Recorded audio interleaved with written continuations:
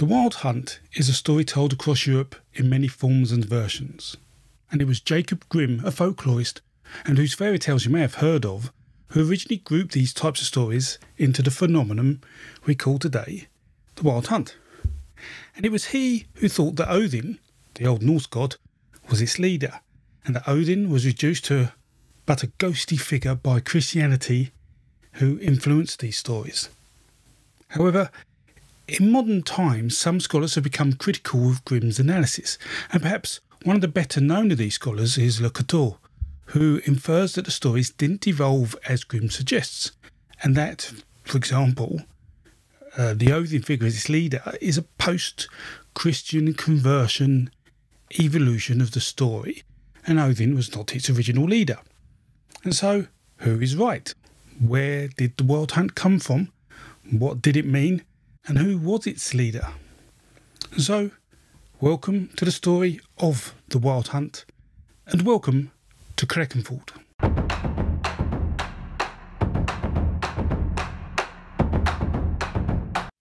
Imagine being in a forest at night time at midwinter. It's so very dark, very cold, and the wind is gusting past your face. There's a rumble of thunder, and you think you hear the sounds of what could be screaming, or animals running and squealing, neighing and screeching. Branches crack and creak and break. The noise and the wind surrounding you but you can't tell where it's coming from. It seems to be above you, but passes as quickly as it came. And if you're unlucky, in the wrong place at the wrong time, perhaps you are standing in their way, in the middle of a path or open field, then, then you may see a dark figure come towards you. And the outcome of such meetings are really comforting. And so Due to a number of questions I always get, before I start properly, I want to say that there was a lot of research carried out to make this video, and I've referenced all the books and papers I've cited in the making of this in the description below. I've also added chapters to this video if you want to skip to certain parts, such as the storytelling sections, although I do know some of you like them. And there are also English subtitles, so to help you follow along if you need help with my accent, pronunciations, or spellings. And there is, of course, a like button down below if you want to press that to help others see the video and help promote this. And I would really appreciate it if you did that. So thank you, and let's begin. And it's probably best to say at the start that there is no definite answers here. We will look at evidence and make educated inferences, and I'll give my own view based on these but there is no definite proof we can say about the wild hunt source. But the first piece of evidence we should look at is the literary sources, and the oldest written version of a wild hunt story we know and can date with accuracy is Orderic's Vitalis' written in 1092, and he recorded a story which he called the Infernal Hunt after talking to a priest who said he encountered the hunt one night. And that priest's story goes like this that whilst he was walking home after visiting a sick man, he heard a frightening noise around him, and so he went to hide by the side of the road behind some medlar trees. But he found his way was blocked by a giant warrior waving a club. He looked around for a way to go, and as he turned, he saw in the sky a swarm of shapes flying by, weeping and moaning over their sins. They were corpse bearers with coffins over their shoulders, and he counted over 50 bodies in all. And these were followed by women on horseback, and they had golden nails in them. And they were then followed by many powerful figures from the church on horseback. And the priest recognised many of these people as they had all died recently. And when he turned to look back for the giant warrior, he too was now flying through the air joining the procession. This version of a hunt is one that is obviously influenced by the Christian writer, with the talk of sinners and women atoning for their sins, uh, which is the reason why they have nails in them. Uh, and we are aware of other stories where people were said to have had to lie on the ground and make Christian symbology, often with their bodies, such as the sign of a cross, to protect themselves. But also within this, we see different types of dead being mixed together giants and coffin bearers. And this too is reflective of the story evolving from a heathen to a Christian themed story. And perhaps most interesting of all is this supernatural being who leads the hunt, a giant warrior. And although a lack of detailed description would normally mean we can identify the, the leader, the warrior, so we don't know whether he was a king or a god, um, there are some who would argue that in many stories, the descriptions of the Old Norse god, Odin, make him consciously unidentifiable. And it is that inability to identify him via the story that could paradoxically then identify him as an Odin figure. But there is no way to be sure. Um, but it may be the reason, or the reasoning behind making some people believe Odin was the leader of the hunt, alongside his role, which is associated with the dead. But things just aren't that simple to work out, and the Wild Hunt is incredibly complex.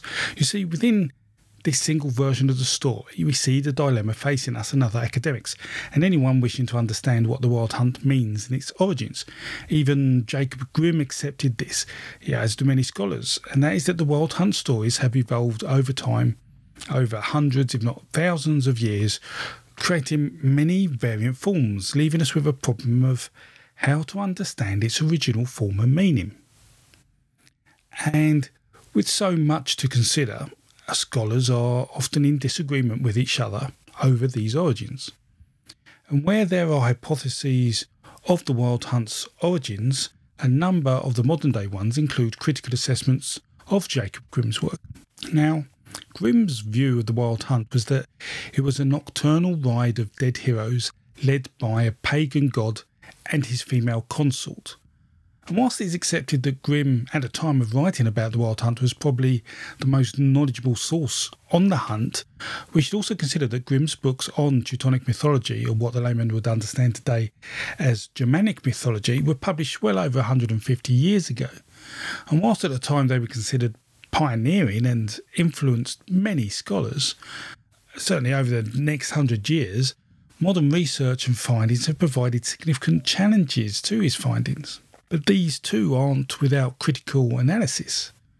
You know, three noted modern scholars have had the following to say about the hunt. First, there's Eva Pócs, who said that by looking at the wild hunt, it shows that outlines of a common Indo European inheritance seem to emerge.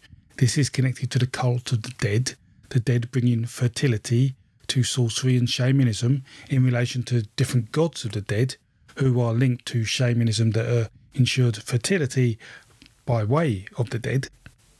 And Carlo Ginzburg called it a night ride of prematurely dead humans led by a fertility goddess. And Le whose recent books are well read and often quoted on the subject, and whose work is considered a viable working hypothesis of explanation by Hutton. Uh, he said the Wild Hunt is a band of the dead and that it fell into the vast complex of ancestor worship, the cult of the dead, who are the go betweens between men and things. Le also called the huntsman the avatar of the ancient, or the avatar of an ancient, uh, ambivalent deity who presided over death and resurrection, a psychopomp, you know, a guider of souls. And so the only thing that becomes clear if you put all this on a page is that there isn't a clear answer. In fact, I would argue that there are some things you just wouldn't normally see even on the same page. And so we have a number of differing scholarly views on the hunt, the origins of the hunt, its purpose, its leaders. And so who could be right? Or could they all be right or wrong? So let's start considering what made up the procession of the hunt, you know, what beings it contained. So here the Wild Hunt stories are reasonably consistent at a high level in that they show a collection of beings, either the dead or their spirits, or supernatural beings, and occasionally animals, often accompanied by furious wind and in a nocturnal procession, uh, and led by a huntsman at the front of the hunt, although not always. And it is the leader is sometimes an animal, and sometimes they are mutilated and it is often only the leader that people who encounter the hunt can interact with.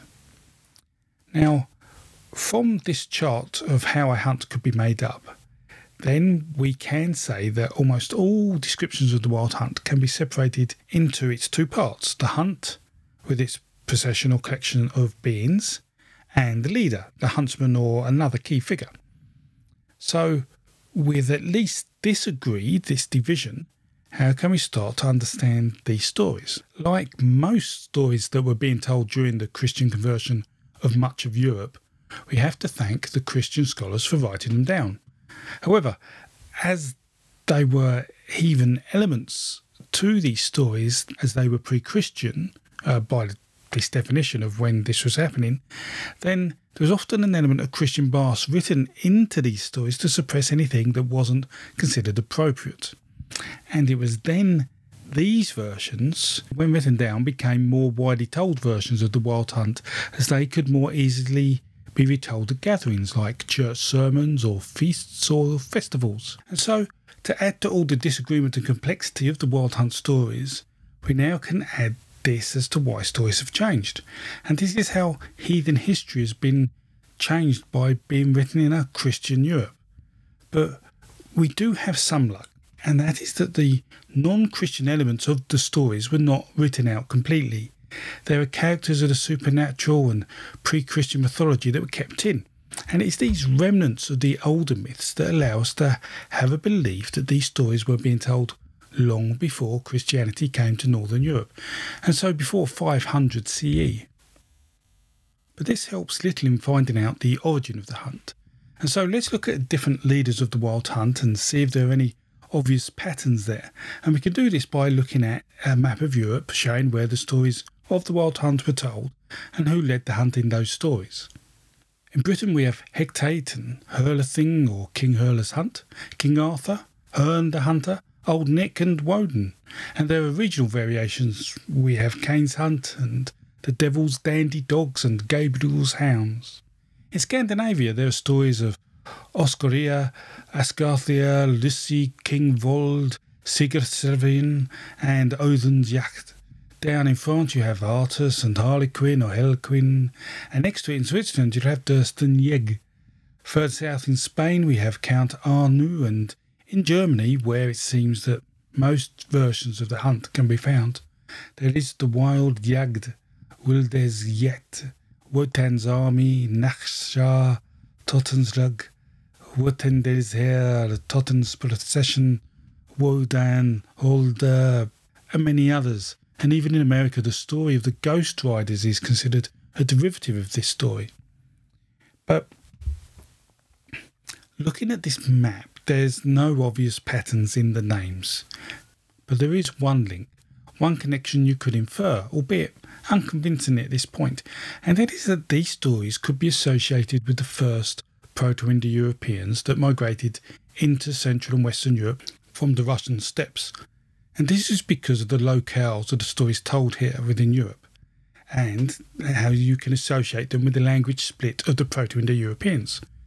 In effect, the first wave of the Proto Indo European ancestors spoke a language derivative of Proto Indo European called Centum Division.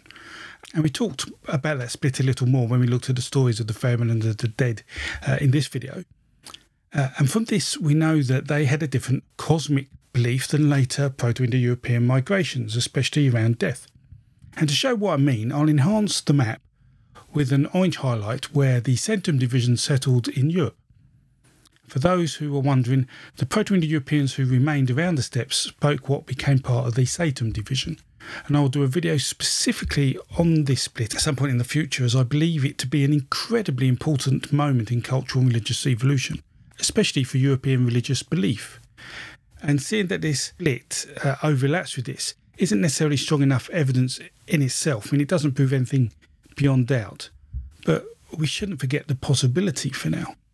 And so from this, we have some data that may be useful and may help us understand why stories specifically changed.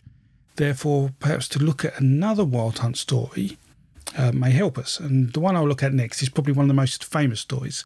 And this is the story of King Herla's hunt, sometimes called Herlething. And this is, was written at the end of the 12th century by Walter Map. And it goes like this One day, a dwarven king visited the court of King Herla, requesting an audience. The dwarf was gaily attired in spotted fawn skin, and he had a long red beard reaching to his chest. His belly was hairy, and his legs ended in goat's hooves. The strange king rode up to Herla, mounted on a large goat, and happily announced that Herla's forthcoming wedding to a Frankish princess should be brilliantly adorned by my presence as a guest. He then decreed that I shall first attend your wedding and you mine on the same day a year hence. Without waiting for a response, he turned swifter than a tiger and vanished from view. This was a surprise to Herla, especially given that he was not currently engaged to be married to anyone. Yet soon after the dwarf had departed, Frankish ambassadors arrived to propose such a marriage, and Herla quickly accepted. During the following wedding feast, the dwarven court provided a vast array of food and served all the guests with such efficiency that Herla's own servants were left sat with their hands before them, neither called for nor offering aid. The dwarves' splendid clothing and jewels made them shine like burning lights among the company.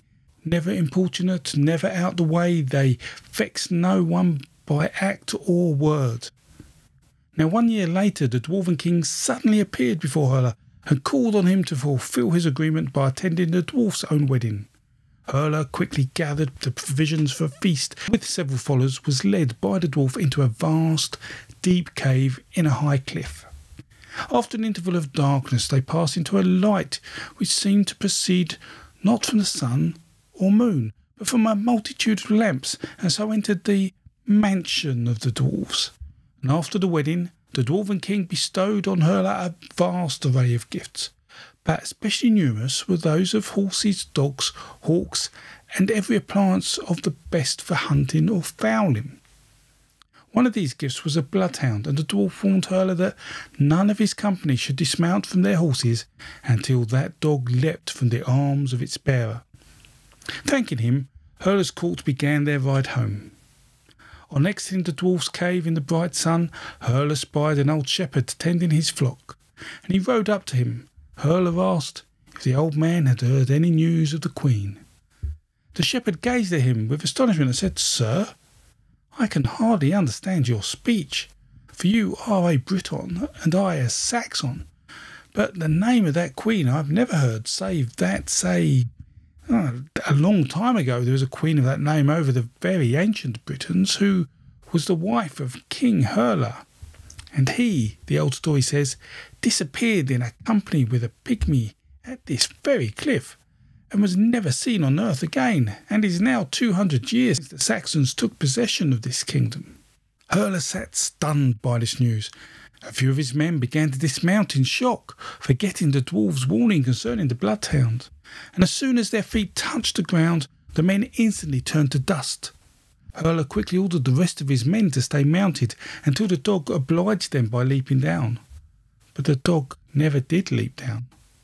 The ages passed, and Herla's company were condemned to a long, lonely march through time. Walter Map claims that they were last seen in the marches of Wales and Hereford in the first year of the reign of King Henry II, when Map was a boy of 15. At that time, Herla's company was said to have been accosted by a large group of armed Welshmen, forcing the company to plunge into the River Wye, turn into the air, and vanish forever. Here we have a very magical story, you know, fantasy laden version with themes that are a combination of eternal punishment and perpetual wandering, themes that are common in some of the other versions of the Wild Hunt. And the other interesting fact about this tale is what some scholars believe to have happened to King Herla's name, and that is that they believe it may have well evolved into the Harlequin name in the French versions of the Wild Hunt. But before we dig deeper, there is one more version of the Wild Hunt story I want to tell, taken from the Anglo Saxon Chronicles, which is a book noting the history of the Anglo Saxons in England. And on the entry dated 1127, it states For it was common gossip up and down the countryside that after February the 6th, many people both saw and heard a whole pack of huntsmen in full cry. They straddled black horses and black bucks, whilst their hounds were pitch black with staring hideous eyes. This was seen in the deer park of Peterborough town, and in all the woods stretched from there to as far as Stamford. All through the night monks heard them sounding and winding their horns. Reliable witnesses who kept watch in the night declared that there might well have been twenty or even thirty of them riding and galloping wildly. These three stories I've told so far, in themselves, only help us so far as to show that there is no obvious common source, other than to say stories being told a thousand years ago were already quite different, whether with or without Christian influence. It is these that allow us to feel that the Wild Hunt story is older than Christianity, or at least was around much of Europe before Christianity. And I'm not sure any reasonable scholar would ever doubt that. Now, with this mix of stories and combinations of beings and animals that make up the procession within the hunt, can we look at these and ask ourselves are there any clues um, we can see about the beings that made up the hunt's possession. And we can have two views on this. And the first view is from those that support Grimm's work. These hunt types were as follows. There were humans, sometimes the recently deceased, and often the damned or sinners, or those who left in purgatory. Uh, they were often seen wearing the clothes they died in or holding possessions that were close to them. There were sometimes armies, phantom armies, furious armies. They had fought and died in battles. And if you take Schmidt's opinion of the Wild Hunt, where there are armies led by a king, such as King Arthur's Wild Hunt, these armies actually aren't possessions of the dead, all chaotic and rampant, but an army in the aristocratic point of view with no cosmic significance. And sometimes the procession represented the dead who had escaped purgatory to come to warn the living. Also within the procession there were often mythical beings such as elves and dwarves, but also fairies or pixies, witches, giants, ogres, and demons. And finally, there were animals, with horses and dogs often being the most common types. But we also have stories of birds, cattle, pigs, and snakes and the participants of the procession, whether human or animal or otherwise, may have sometimes been mutilated or have had extra body parts such as additional arms or legs or even heads. And so, looking at these participants, there is such a variation, such different themes, that to find a hint of an original, all encompassing element is just difficult to pin down. But the difference between humans and animals in the hunt is that animals are generally ageless. And I mean, their appearance doesn't require a human's knowledge of a recent war or death, meaning that animals may be a more consistent theme than looking for individuals, and so therefore could allow a belief that an animal may be the oldest leader of a hunt, or at least a being or beings that did not require personification to understand who they were. But then there is the other view of hunt types, a more modern view, pushing against Grimm's thoughts, and that is that the hunt is split in two types of procession.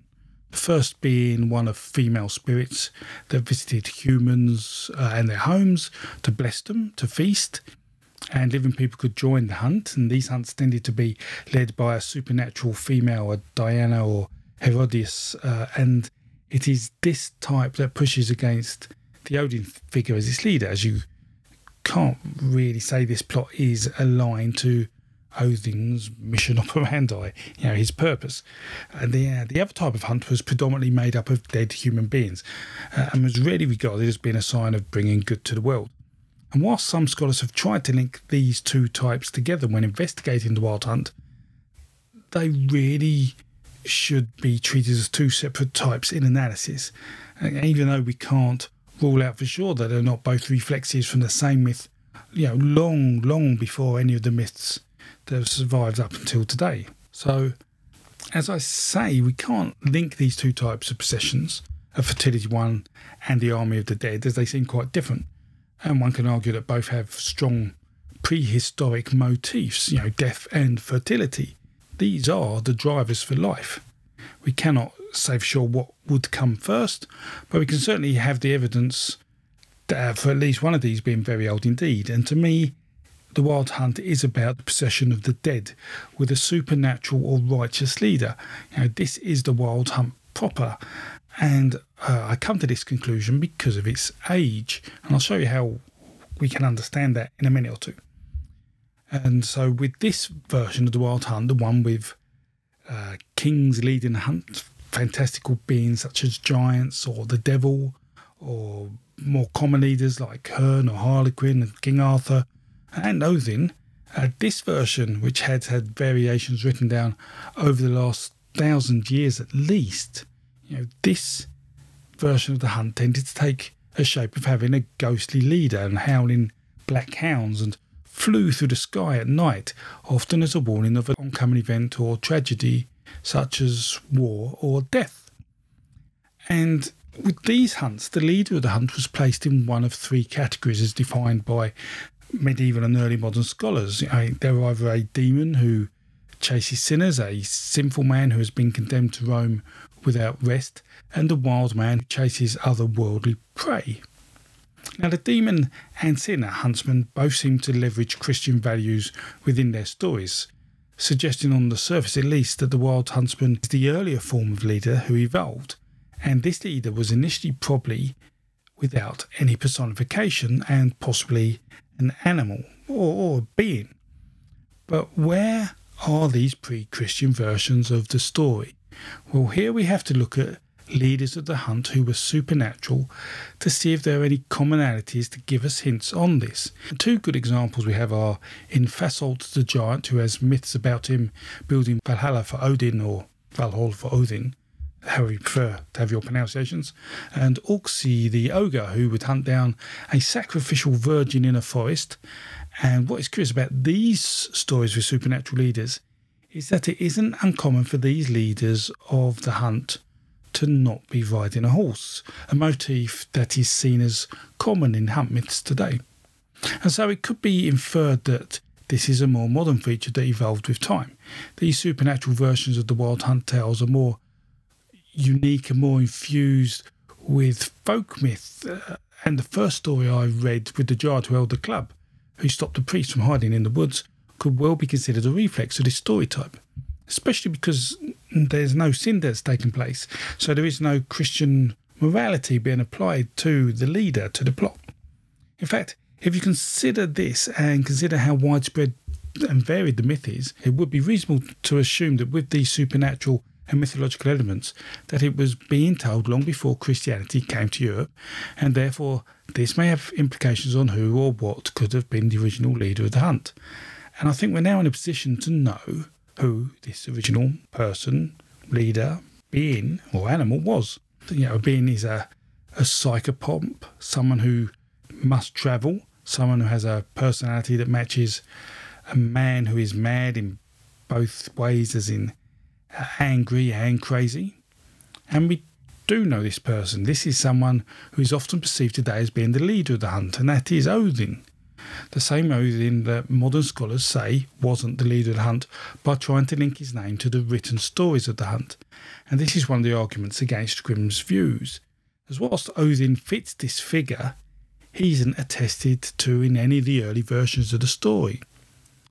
Now, for those who think Odin was the leader of the Wild Hunt, this problem has manifested itself. The first known citation of Odin as a leader of the hunt was printed towards the end of the 16th century, I believe, uh, over 500 years after Christian conversion had formerly happened in Scandinavia. And so, from this point of in time, stories of the wild hunt are often being told as also being led by a devil figure. And this figure is one which some Christian scholars noted as Odin. In effect, as time has passed, Odin has seemed to become an epithet for the devil as more people became Christian, or as Grimm said, one which Christianity has turned into a ghostly figure. And this is why it adds reasoning behind many modern scholars saying that there is no proof Odin is the original leader of the hunt. He is a later addition to the stories, even though the attributes of his character seems to be a good match, and that many of these stories come from the Germanic region of Europe. It is just that these German stories have no old occurrences of this god, and so we could easily give up at this point and say we really are no closer to finding out about the source of the hunt, apart from saying it is a possession of the dead. So perhaps to find the leader, we should change tact and not consider post Christian conversion texts as being the best source for understanding the wild hunt. And this means we should look at other historical texts that may help us. And this takes us to Tacitus and his book Germania, written towards the end of the first century. And in this book, Tacitus describes the warriors of a German tribe as painting themselves black in the hope their enemy would mistake them for an army of the dead, an Umbra Feralis.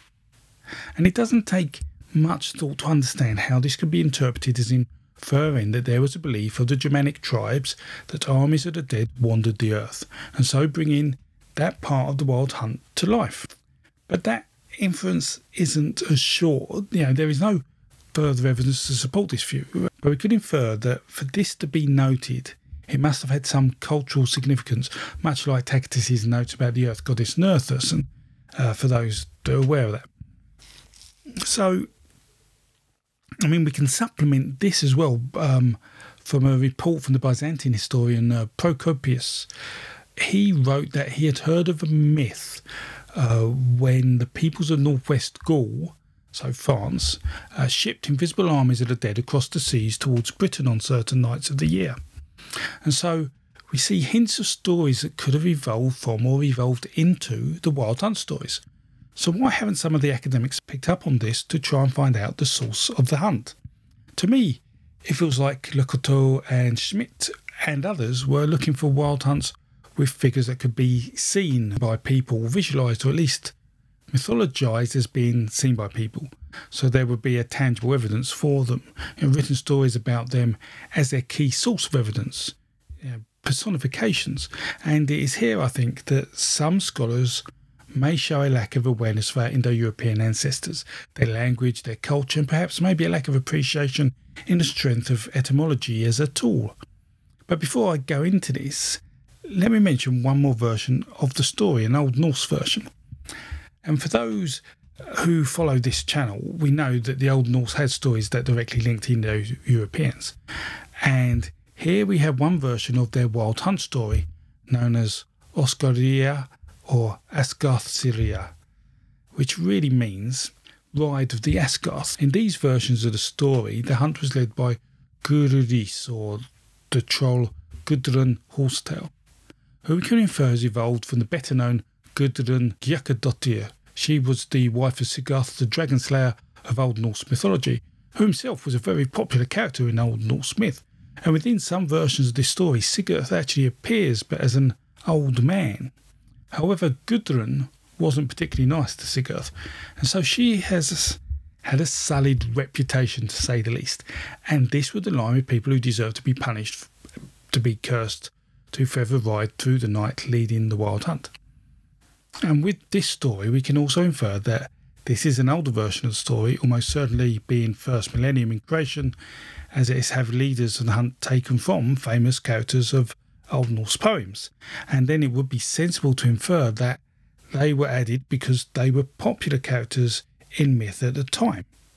And that would help this version of the story become more popular, you know, more people to listen to it. So here we see pre Christian versions of the stories containing the evolution and development that Christian versions of the story eventually had, establishing further that there was an evolution and sometimes a significant evolution of stories uh, that would have happened long before Christianity started writing down. And so we, we also can't say that Sigurd and Gudrun were more popular than Odin, so why isn't he leading Hunt? I mean, looking at this, we have found some reasonable evidence to hint at an early origin for the hunt, one that would need a godlike leader, but none of it can really stand up on its own or to say that Odin was the leader. So now it's worth looking at what we know about the evolution of the Germanic and Old Norse Scots, and what we can tell from traces left in the language used in the hunt stories. So let's go back in time back to our Proto Indo European ancestors around 8,000 years ago, around the time when the Centum Division split happened from the Russian steppes. And what we know of this is that the European people, a Proto Indo European speaking culture, started to migrate from the steppes eastwards uh, and on their way across Europe. Back then, our ancestors' primitive gods were anthropomorphic. They lived as ideas in your head. They weren't personified, and you worship them out of fear. You sacrifice to them out of fear, as the gods brought bad weather, failed crops, and they brought death. And this understanding is well written by Unwerth and De Vries. And so, what we're trying to say here is that there was no named God, a name that could change over thousands of years in those stories. And so, what were these gods called? Do we know? Now, before I answer that, I'll put the question out there of can we say the oldest character we can apply as a leader of the wild hunt uh, as Odin? Well, even considering this revelation, then we still have no proof that he was. In fact, the actual personification of Odin with the wide brimmed hat and cloak on one eye, that version of Odin certainly hasn't been around for more than 2,000 years. And I'll talk about that in another video soon. But I will touch on the subject now by saying that what is interesting to us is one of the origins of his name. And I say one of the origins as it is believed he is the sum of multiple influences in the build up to the personification we know. The Odin we know today is in effect a complex combination of myths, including that of the Wild Hunt. And I'll say I'll talk more in detail about that as this will complicate a very complex subject even further. So I'll just mention this one origin, and that is inferred uh, by a god called Othor. And Othor means mad, as in angry, wild, and crazy, and is often considered a title that arrived from being as a leader of the wild hunt. And it is accepted by most Old Norse scholars that Othor then merged into Othin. And it is more complicated than that, I know, and we'll deal with that in another video, I, I promise. But what we see here is a name of a god cognate with Odin, whose name means mad, and so could be associated with the wild hunt based on the evidence we have. Now, at the same time as Othor was being worshipped in Scandinavia, and this was long before there was any personification of Odin, there was a god in Germania who was considered the same as Odin, and that was Woden or, or Woden.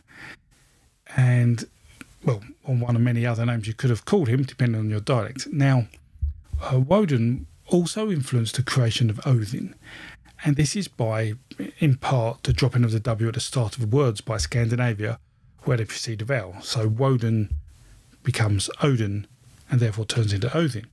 But why are we worried about that? Well, this is where Woden fits into the origin of this story. You know, the god Woden was first attested to by Tacitus at the end of the first century, and he was being compared to Mercury, the messenger or traveller. He's a god who was also a psychopomp. And again, we could link this to the leader of the wild hunt, but just that on its own is again isn't strong enough evidence. And so this doesn't mean that the wild hunt was a story back in time of Tacitus, even if Woden was an existing figure. And so, for those who want literary references, then we should consider the work of Axel Olrik's Odin the Hunter, or de Vries's contributions to the study of Odin, especially in his relation to agriculture practices in modern popular lore. And although Anatoly Liberman says in his book Prayer and Laughter, and Liberman is a scholar with a skill in languages and memory that makes his work truly inspiring, uh, he says perhaps the most important works in the understanding of Odin and the Wild Hunt are those that are least quoted. They are that of Endter's The Legend of the Wild Hunt and Game Hunting and Flasdieck's Harlequin about uh, Germanic myth during the time of the Romans. And so, what do these scholars tell us that modern day scholars don't? Well, what is reiterated is that the North gods were spirits, non personified, and probably like this as late as when Tacitus was writing. Woden was probably called Wothanas in the first century CE, his Indo European form of his name. And this name is cognate with Wod or Wode, and so cognate with Woden, and therefore etymologically linked to Wothanas. And so here there is evidence that the leader of the wild hunt, Wode, which is a recognised name as a leader, has been linked to Woden. But again, that again isn't the strongest piece of evidence by far. You know, Wothanas, the Indo-European form of Woden, is cognate to Wothu, and that is a Proto-Indo-European word, and it is the word uh, reconstructed from that language that means a collection of spirits, a collection of wild hunters, not just human spirits, but birds, uh, dogs, horses, And it would not be unreasonable then to believe that the hunt almost certainly had a horse as its leader at some point, perhaps a man eating horse, which would eventually turn into a half man, half horse, which would eventually turn into a man riding a horse, before turning into just a man. And these evolutions are written about, and some say this gives a tantalizing glimpse, perhaps into the possibility of the mythological birth of Sleipnir, Odin's eight legged horse. But again, that's diverting a bit from where we're going here. Liberman then goes on to show that the name of Wothu existed long before the formation of Indo European pantheons, and it wasn't suggestive of a human form. The Wothu was no individual, it was a group of spirits, a host of wild hunters, frightening, frenzied, and of different forms. And it is from these that the personification of the first leader of the hunt would eventually come. From Wothu to Wothunas, so to Wode to Woden. As I mentioned earlier, one must remember that Odin is a magical sorcerer in the books of the Eddas. This was not his original role, and this may not have been considered by some of those arguing against Grimm's position. Odin is a complex character evolving from several different causes, but in his earliest form of Othor, and that is his uh, Germanic equivalent of Wothunas, he was a death demon, a psychopomp, mad. He moved with a frenzy similar to the Roman god Mercury in some ways, with his ravens, a traveller with messages, but was not necessarily personified. Here we can now connect the key attributes of the leader with good etymological evidence. And if you want to understand this in more detail, I'll talk about more about that in the Woden and the Wild Hunt video. Um, but now I will also point out that I'm not going to use also the argument to link Odin with storms and a storm god to uh, align him to the winds in the Wild Hunt. And in fact, I show evidence in that Odin in the Wild Hunt video that that is not his his purpose or why he was created. He is a mad, crazy, frenzied uh, person, but he is not associated with the wind or storms. He just affects the atmosphere around you locally if he was leading the hunt. But it's not responsible for the weather at all. Um, and so, by removing this, we remove one of the weaker arguments for Odin leading the hunt. But piecing all the evidence we do have together, we show that we are still missing mythology, or at least tangible traces of the evolution of the wild hunt from our Proto Indo European ancestors. And we have these tales told today, some of which uh, Wod, Wode, Woden, or Odin have uh, as, as the lead, but there are tales that are different, evolving over a thousand years of Christian influence. And the earlier tales are gone, only leaving the name of the leader of the hunt behind, a name that influenced Woden and Odin, and possibly some connection to the animals that could have also led the hunt. And also with this, we lose the origin of the tale of fertility that is also linked with the wild hunt phenomenon. And this is something we must also consider with the tales of the Eddas too, for example. So the poetic Edda and the prose Edda, written after the belief of gods tried to be erased from the Nordic peoples, and then written again. And especially uh, alongside Snorri Sturluson's prose Edda that humanizes Odin and gives him that altogether more personified sorcerer character. And therefore, we must suffer caution when trying to understand these myths. Through the name of Wothu, along with its evolution, we can see the wild hunt was believed at the time of the Proto Indo Europeans. In fact, the name and understanding of the religious belief suggests it was known before the Proto Indo European pantheon existed. And that helps explain its spread and explain the maybe not so coincidental overlapping with the Proto Indo European Centum division language split and the migration into Europe to align with the understanding of the original leader of the hunt that was not personified but a group of frenzied spirits who probably weren't human. But the original stories we now have to accept as being lost. You know, with what remains being no better than a collection of somewhat shuffled and scuffed myths and motifs, topped with a large helping of evolution, Christian influence, uh, and which evolved as the gods and kings came in and out of favour, changing the leader. And with so many variations, a confident reconstruction of a source myth will be all but impossible and so of, of limited value. But to me, to suggest as Hutton and Lecouteux do that Odin wasn't the original leader of the hunt is not to look at the whole picture. Odin's ancestors were leaders of the hunt. They were psychopomps leading a procession of the dead. And this story shows hints of being built around the story of the dead travelling at night in winter. And the winter solstice was almost certainly one of the most sacred nights of the year for our ancestors. You know, before burial mounds and kurgans and tombs and the like, perhaps this was a way of acknowledging the dead, what some have called a cult of the dead. But we will almost certainly never know for sure. And so for now, all we can feel reasonably assured of is that the only remains of the Wild Hunt story from a time over several thousand years ago, the story of a psychopomp leading the dead somewhere, whether animal or human, is the ancient name of its leaders, the Wothu. These were originally a group of supernatural spirits and which would eventually evolve into the god the Germanic tribes would name as the derivatives of Woden, who would become Othor, a cognate of Wothu, and then the Old Norse god Odin. But the story of the Wild Hunt doesn't end there, not quite. As before the time of the Proto Indo Europeans, our ancestors were hunter gatherers, and hunting was an important and necessary part of life. It was critical to our survival, and this is why these stories survive. And so, stories of hunting would have been part of our ancestors' culture. These pre Proto Indo European times were almost certainly when the story of the wild hunt started. But when exactly? At the last ice age, maybe earlier?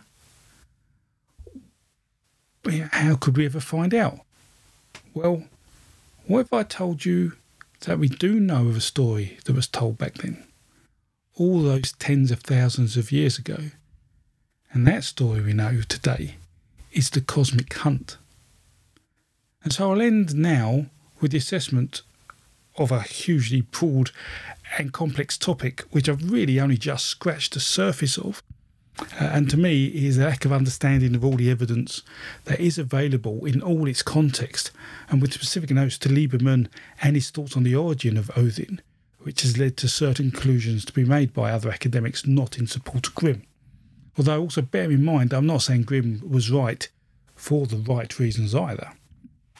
And with that, I want to say I really hope you enjoyed that journey through the Wild Hunt's origin and its leader. Please like and share and comment about the video if you did. Let me know if any questions, any challenges, any stories you'd like to know more about. And remember to subscribe to Crecganford and hit the notification bell if you want to see more videos like this when they come out.